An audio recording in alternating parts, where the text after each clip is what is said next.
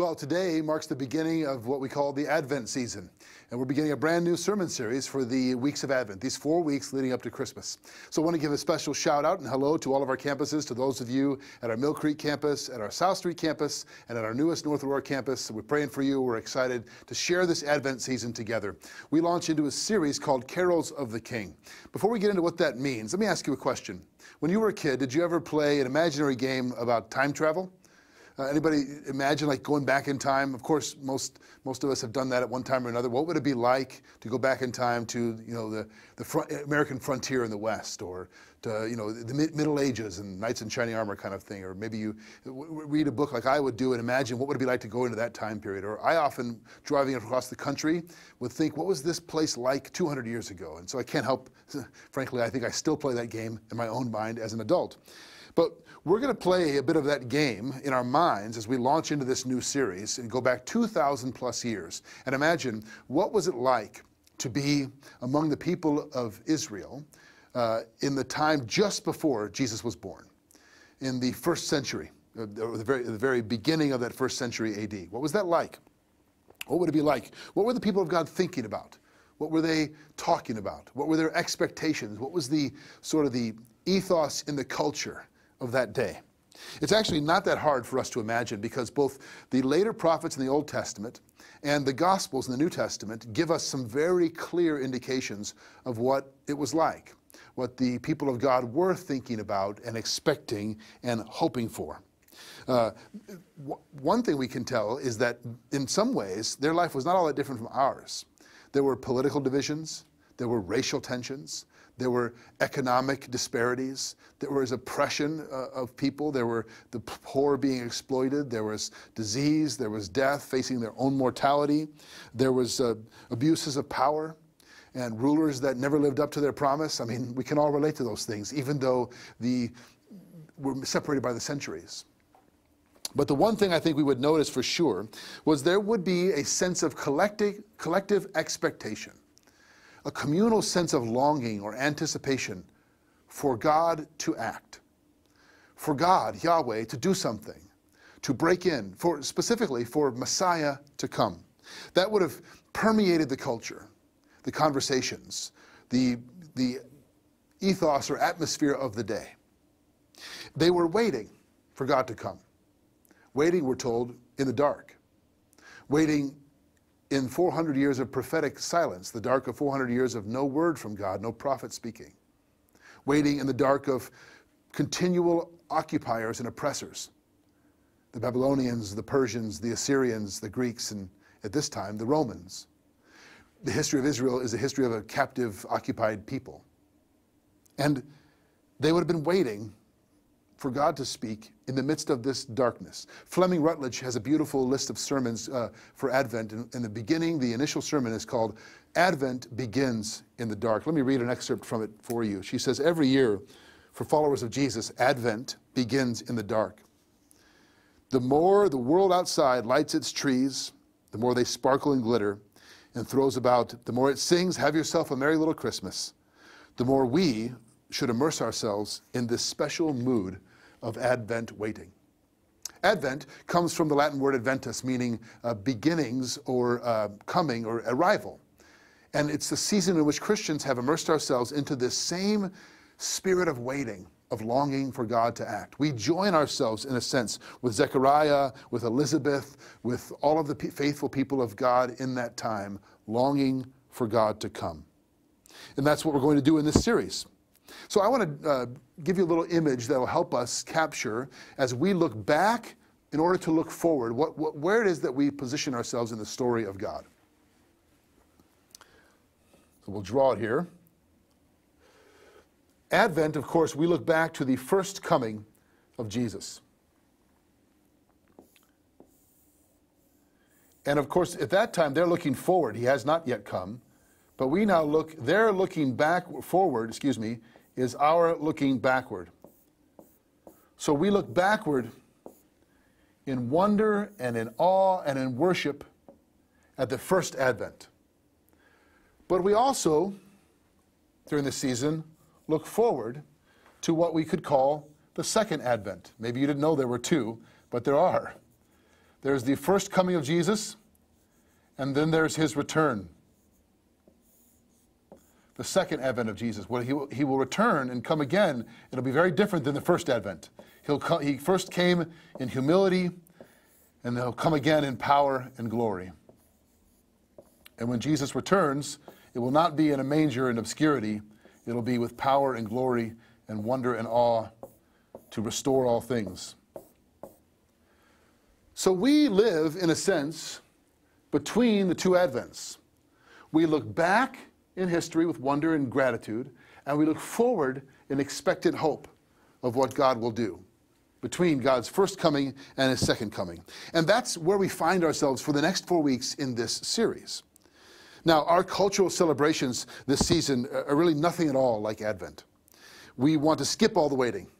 We want to get right to the glitz and the glitter. Starbucks brings their Christmas cups out really early. Hallmark never stops producing Christmas movies. The season gets earlier and earlier. We want to jump right to the lights and the tinsel and the glitter and the joy, joyous sounds and the happiness of it all. We sing, you can even hear it in the songs we sing. Santa Claus is coming to town versus Silent Night. What could be more different? And that's really at the heart of our series, Carols of the King. What we're going to do is look at the four great hymns of Advent.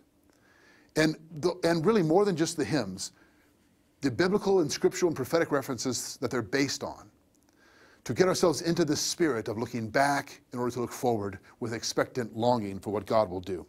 This is the focus of our series. It's my hope that our hearts are filled with wonder and gratitude as we look backward, with hope and expectation to look forward, and that we never sing these songs the same way again. The first song is one that captures the very spirit of Advent beautifully. It's the great hymn, O Come, O Come, Emmanuel.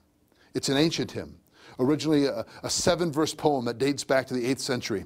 It's reinterpreted uh, in the 13th century, when we, in the form we sing it now with five verses, happened in the 19th century. So it goes way back. And it wasn't put to music until the 19th century. And what's amazing about this is that each verse begins with a messianic title, a name of Jesus that's rooted in the Old Testament, and it gives us hope for the future. So let's work our way through the first verse of O come, O come, Emmanuel, the very first verse. O come, O come, Emmanuel, and ransom captive Israel, that mourns in lonely exile here until the Son of God appear. Boy, those four lines is just is captured the spirit of Advent.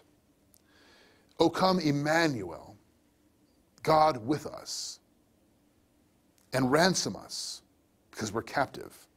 We mourn in lonely exile until God appears.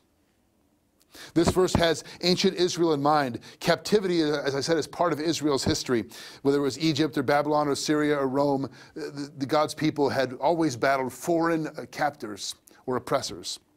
So it's specifically referencing ancient Israel in captivity in Egypt, but also their, their physical captivity is the result of their spiritual rebellion.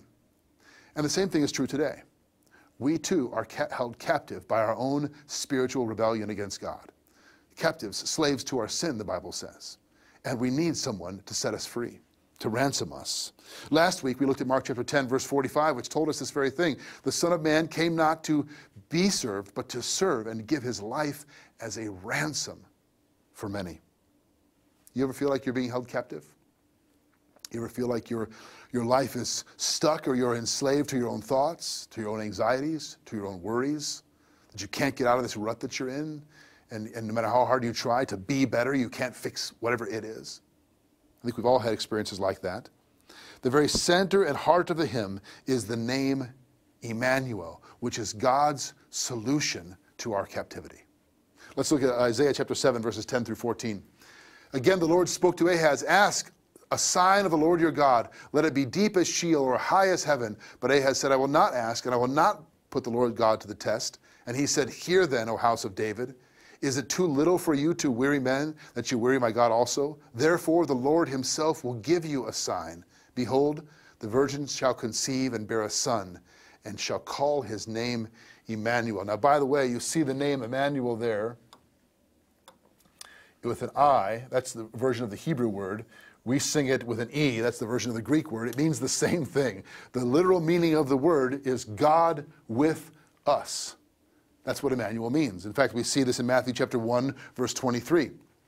Behold, the virgin shall conceive and bear a son, and they shall call his name Emmanuel, which means God with us. This is quoting from the Old Testament prophet Isaiah, speaking that God is with us. So, our captivity, what's the solution? God Himself is the solution. That He comes, Emmanuel, to be with us. At the very center of Israel's longing was for God to come and to be with them. And you know what? I think that's at the center of our longing as well. What we need. Even if we don't know how to name it, even if we don't place it right, every human heart is longing to know that God exists, that God cares, and that God is near. That there is a God who knows me and cares for me and comes near to me. Even if we're looking for that in uh, some place that we don't know how to name that longing, that's what it is the longing for Emmanuel. Isaiah 41, verse 10. It's a word that is a verse that's been encouraging to me over the years. Fear not, for I am with you. Be not dismayed, for I am your God. I will strengthen you, I will help you, I will uphold you by my righteous right hand. I, you know, I think the, the simple name Emmanuel, God with us, may be the most encouraging words in all the world. God with you, with me, with us. That's, if we could go back in time, what the people of God were longing for. Is God with us? That's what we are, some 2,000 plus years later, longing for. The nearness of God. The name Emmanuel shouts, God is near. God has come near. Not only spiritually with us, but physically, the incarnation, that He's with us, that He's close to us. It's all too easy for us to doubt that God is near, that God's with us. I don't, I don't, know about you, but I, I, frequently struggle with that. I, mean, I know intellectually that God is close, but I don't always feel that. Do you? Well, the incarnation tells us that God's nearness is not just th- theoretical, it's not abstract, it's physical, tangible, and real. He came into our world, became one of us, took on flesh. That's what the word incarnation means. And what's amazing about this, if you know the biblical story, in Genesis 3, in the garden, the result of sin is separation from God. We're, we're removed from his presence because of our sin. The incarnation is God setting back right what was lost in Genesis 3, coming near to us, closing the gap, if you will, between himself and humanity, to reunite people to God. J.I. Packer writes about this the incarnation is by far the most amazing miracle in the whole Bible. The fact that the infinite, omnipotent, eternal Son of God could become man and join himself to human nature will remain forever the most profound and wonderful mystery in the universe. I have a good friend who's a pastor, and we debate whether, what's the greater miracle. Is it the resurrection? I mean, come on, come on, coming back from the dead is pretty good. Or is it the incarnation? His argument, and I think he's probably right, is there is no resurrection without the incarnation. It's God, God of the universe, by whom all things consist, took on flesh, became a helpless babe, became one of us, entered into our world.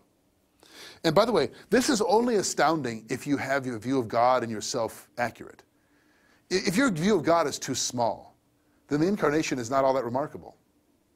I mean, think about the Greek gods were, you know, slightly more powerful than men and women. That they, they took, they came and went and took on the form of human beings, and you know, it, it's interesting, but it's not overwhelming. If your God, if, if your idea of God is that he's, you know, is too small, then taking on flesh is maybe historically interesting, but not overwhelming, not astounding, not fall on your face in worship. On the other hand, if your view of yourself is too big, then, uh, then the incarnation is not all that necessary. If you see yourself as too important and too powerful and you know, better than you actually are, then you don't need God to enter into your world. But if you understand your desperate situation, lonely exile here because of sin, held captive, and you understand we're talking about the God of the universe, then the incarnation is overwhelming to think about. This incredible miracle of the incarnation came with relatively little fanfare, if you think about it, in the first century for playing our little time travel game, very few people even noticed. Most missed it. But Emmanuel came nevertheless, and the world has never been the same. Let's look at the second verse. And by the way, I know it's only one verse. We're going to move faster. We're not covering every all, all seven verses uh, from the ancient poem. Uh, verse two. O come thou day spring, come and cheer. That's the next name of Messiah. Our spirits by thine advent, meaning the arrival, here, disperse the gloomy clouds of night, and death's dark shadows put to flight. It's beautiful poetry.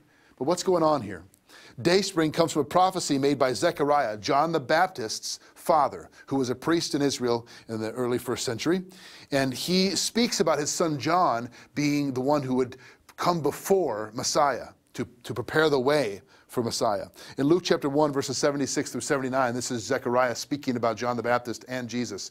And you, child, meaning John the Baptist, will be called prophet of the Most High. For you will go before the Lord Jesus to prepare his ways, to give knowledge of salvation to his people in the forgiveness of their sins, because of the tender mercy of our God, whereby the sunrise shall visit us from on high, to give light to those who sit in darkness and in the shadow of death, to guide our feet into the way of peace. This word sunrise is the same root word for day spring or dawn, uh, that the light of heaven. This is the continual imagery of the Messiah. That light of heaven has dawned, has broken into the darkness of our world, full of sin and death and suffering and evil. Come, thou day spring, come and cheer our spirits by your arrival, Advent here.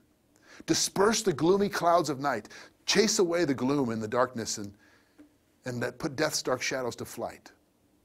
Only Jesus can do that. In fact, this, what Zechariah is speaking about here, the, the day spring and the sunrise, is referencing what, what we're told in the Old Testament prophet Isaiah in the famous uh, uh, chapter 9, the, the, the Advent hymn or, or uh, chapter of his prophecy. The people who walked in darkness, who walked in darkness, have seen a great light. On those who dwelled in a land of deep darkness, on them light has shone, has light shone. Who walked in darkness? Who are those people? Well, specifically speaking, the rebellious uh, children of Israel that were uh, had because of their own sin rebellion, they'd lost their way. They were spiritually, morally in darkness. They needed light, and we too fumble around and stumble around in the dark, looking for our way, trying to find uh, the light switch, but we can't. Someone else must, quote unquote, turn the lights on for us. And that's the meaning of Emmanuel. Dayspring, sunrise, dawn has come. Jesus, by coming to be with us, has turned the lights on. And by him we see. C.S. Lewis famously said, uh, I believe in Christianity as I believe the sun has risen, not only because I see it, but because by it I see everything else. The light of Christ not only shows us Him, but illumines our whole life and the world, re- restructures and re- uh, reorients our value system. We see life differently because of the light of His gospel. We are the people walking in darkness, in other words. And Emmanuel has turned the lights on. Years ago, I took a trip to Ecuador. Very first trip our, our, we ever took there with youth ministry. I was a high school pastor in those days. We did. Um, it was the first group of students to go there. We stayed on the property called El Refugio, and now it's a beautiful, amazing Christian camp. But at this time, they didn't even own the property yet. And we camped at almost 10,500 feet in this, uh, on the top of the ridge of this property, uh, and looking down to uh, several thousand feet to the valley below. With a bunch of high school students slept in sleeping bags in our tents up there. And I remember getting up at way before uh, dawn with a couple of students and sitting there together under our blankets with our sleeping bags wrapped around us in the dark, just waiting for the light to dawn, just waiting, looking down, and you could see as before you could see the sun, you could see the light. It just began. The light began to change. You could see clouds below us in the valley, and then as the sun rose over the mountain in the distance, it was just a glorious moment. I'll never forget it. Watching that sunrise in that from that perspective. There's a sense in which I, this is the image we're given: people in darkness, waiting, waiting, hoping, looking for light to come, and He has. He has dawned in us and on us. Let's look at verse 4. This is a very a fascinating verse. O come thou, rod of Jesse. That's the next messianic title. Free thine own from Satan's tyranny. From depths of hell thy people save, and give them victory o'er the grave. What does the rod of Jesse mean? What are we singing about when we sing this song, O come thou rod of Jesse, free? Rod of Jesse, shoot, branch, offshoot of Jesse. That's what the word rod means. It means um, branch or shoot coming off of a stump or the root, as it were. This is an Old Testament prophecy in Isaiah again. Isaiah is rich in messianic prophecy. We read at Christmas at Advent time. 11, verse 1. There shall come forth a shoot from the stump of Jesse, and a branch from his roots shall bear fruit. That's what it means. That's the rod of Jesse is referring to. Now, who is Jesse? Jesse was King David's father in the Old Testament, Israel's greatest king. And we're told that the Messiah would be from the house and the line of David. So he's going to come from that line. And Joseph is from the house and line of David. So, according to his earthly father, Jesus is born into a family that has that lineage. Look, look at 2 Samuel chapter 7, verse 16. This is what we're told about David's throne. And your house and your kingdom, that is David's, shall be made sure forever before me. Your throne shall be established forever. This is the prophecy to David. God's covenant with David is your throne's going to last forever. How's that going to happen? David is dead and gone. By this one who would come off that branch, by this ruler and king who would be born, who would live and reign forever. Once more, we go to Isaiah chapter 9, verse 7. Of the increase of his government and of peace, there will be no end. On the throne of David, and over his kingdom to establish and to uphold it with justice and righteousness from this time forth and forevermore.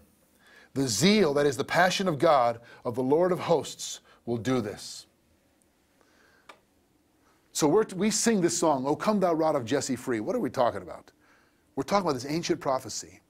The covenant God made with King David. Your throne will never end. But David is dead and gone. How's that going to happen? Isaiah tells us that someday one from that line would be born and establish his throne and uphold it forever with perfect justice and perfect righteousness. And that's in the song we sing. Free us from the tyranny, the oppression, the darkness, the captivity that we experience in this life. And the last enemy is death. Triumph o'er the grave, we sing. Give us victory o'er the grave. This is what the Apostle Paul says in 1 Corinthians 15. The sting of death is sin, but thanks be to God who gives us the victory in Christ Jesus our Lord.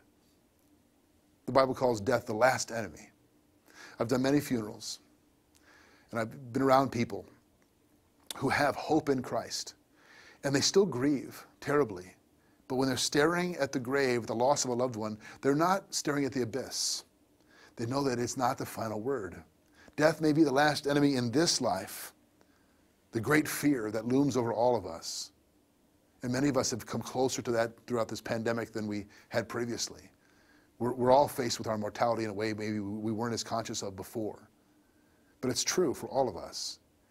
And what we're told is when we sing about Emmanuel, he gives us victory over the grave. That is not the final word. Personally, I really long for a king and a leader and a ruler who could lead this way who could establish justice and righteousness forever. I'm weary of earthly rulers who overpromise and underdeliver. Every election cycle, we get worked up and we get excited and we, get, we think that we believe the promises they all make, and it never comes true. And it never will. It never has throughout human history. Our nation, like every nation on earth, is starving for a truly righteous king. And there's only one Emmanuel. We remember, we are living between the Advents. We are living between the time when Christ has come and he will return. He has come. We look back in gratitude and wonder at the incarnation, but he's not here yet fully. He will return and fully establish his kingdom. And we live in between, and the in between means there's brokenness, there's sorrow, there's grief, there's oppression and evil and injustice. There are evidences that he's not, that we question his reign. It's not an easy thing to live between the Advents. Nevertheless, He is Emmanuel, God with us in between. So, what, what do we take from all this? We could go on, look at each verse of the, of the song, but that would take more time than we have. What do we take away from all this? What are we supposed to do with this, this Advent season? Well, let's go back once more to the drawing and see if we can make some sense of it.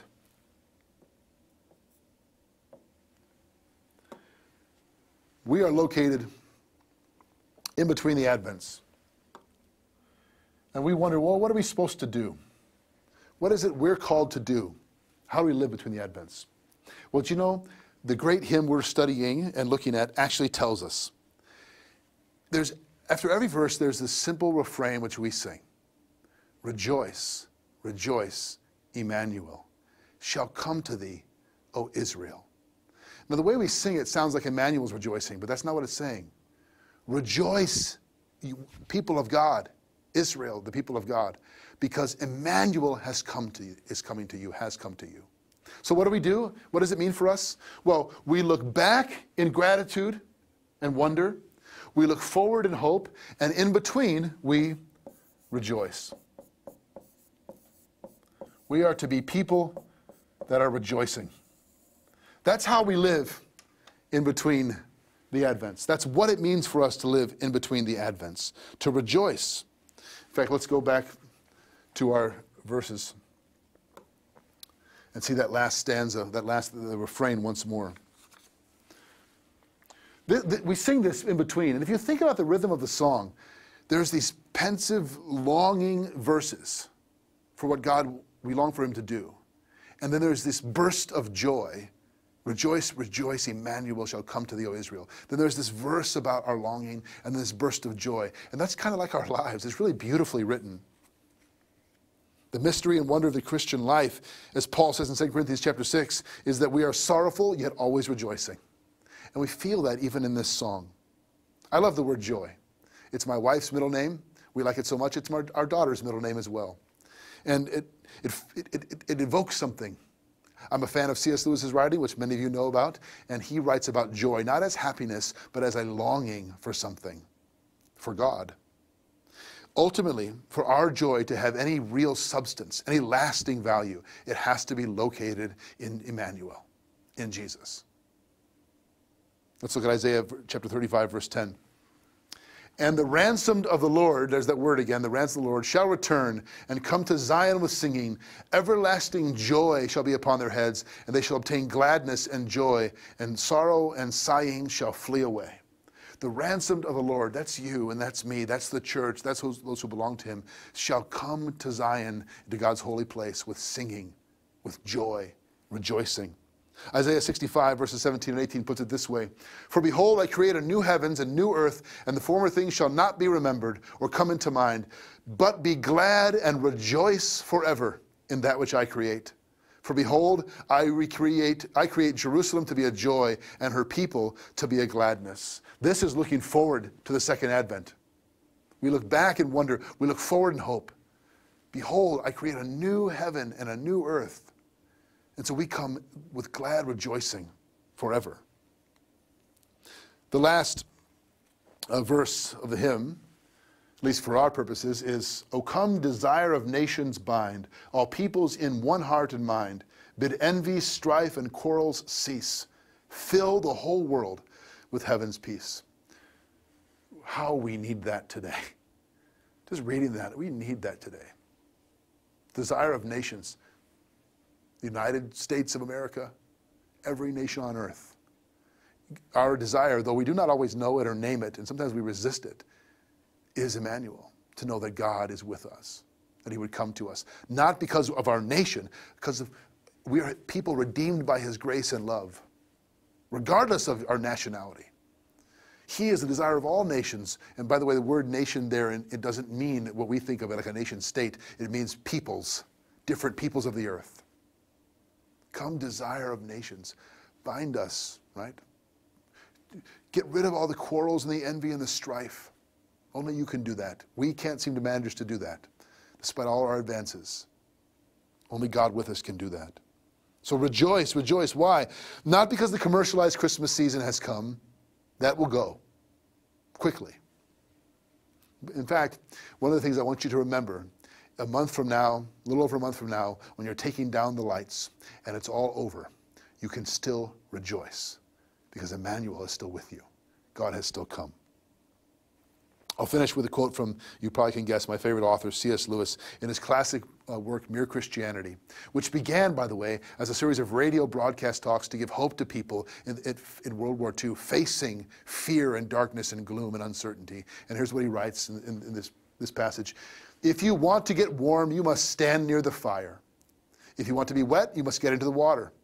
If you want joy, power, peace, eternal life, you must get close to or even into the thing that has them.